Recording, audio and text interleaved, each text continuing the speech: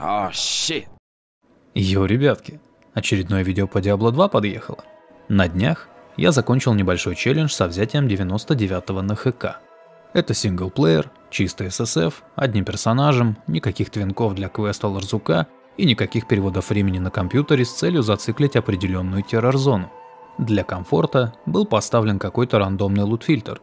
Основной билд Fist of Heavens для высоких ППЛ, возможно, не такой домашний и универсальный, как молоточник, но зато менее контактный и более ауешный в плане зачистки толпы, без ожидания раскрутки снарядов по спирали. И сразу немного цифр. В сумме я потратил около 190 часов. Энигма собралась на 95-м, примерно после 120 часов на персонажа.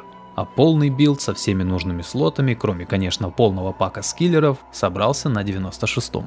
На удивление, я выбил не такое большое количество высоких рун, как предполагал. Ом, Джах, Сур и различные средние руны упали еще примерно к 93-му. Уже тогда я был очень близок к Энигме, но добравшись до 95-го, ситуация не поменялась. Пришлось покинуть любимый пяток и прибегнуть к тяжелой артиллерии в виде фарма Ловер Кураста на Players 7. Вытащить Сур удалось примерно на 15 часу тормошения сундуков, и вот наконец заветная Энигма. Фарм ключей теперь одно удовольствие, берем брейк 125 ВКР и начинаем летать. Нафармив сразу на три попытки, с первой же достаем мемный Пала torch 1010, с которым и останемся до самого конца. Билд под уберов, конечно же, смайтер с парой шмоток на Crushing Blow и кучей резистов. Спекать скиллы под него не обязательно, заковыряете и так. Torch это, конечно, хорошо, но плюс скиллов все еще маловато для того, чтобы комфортно фармить террор-зоны на высоком ППЛ. И раз уж мы так далеко зашли, то почему бы не дособрать фуловый билд. Летим на Мефисто, выбиваем Арахнит. Летим на Энди, выбиваем Содж, Заку, Шаку, Булкатас, второй Содж.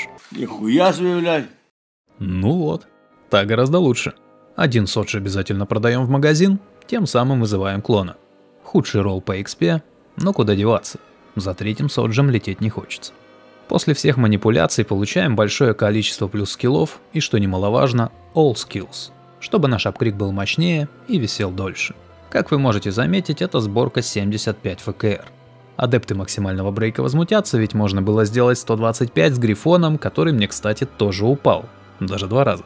Но все-таки на высоких плеерсах телепортируемся мы реже, и каст Фоха имеет КД в 0,4 секунды, а значит сокращение анимации всего на один фрейм дает копеечный прирост к итоговому ДПС.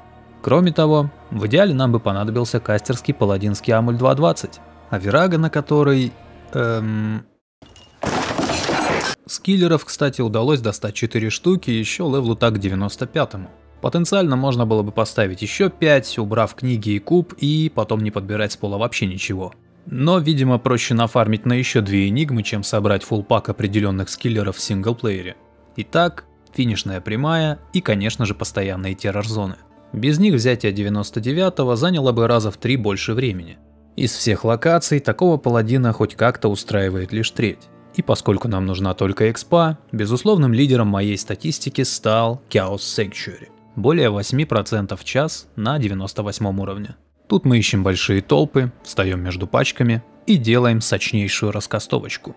На Диаблу забиваем, также можно избегать и некомфортного десайза. В остальных локациях принцип тот же самый, пачки побольше, ППЛ максимальный, плюс не забываем чекать шрайны по пути. Что касается раскидки скиллов, это естественно максимальный фох, две синергии к нему, побольше поинтов щиток ради блока и дефенса и по несколько очков Redemption и конву. Redemption я использую большинство времени, чтобы в замесе почти никогда не отвлекаться на хп и ману. Это делает фарм безопасным и менее утомительным. Да в принципе и все, друзья. Не знаю, захочу ли я повторять 9.9 на ком-то еще, но, как всегда, увидимся на Твиче и в следующих роликах на Ютубе. Всем пока.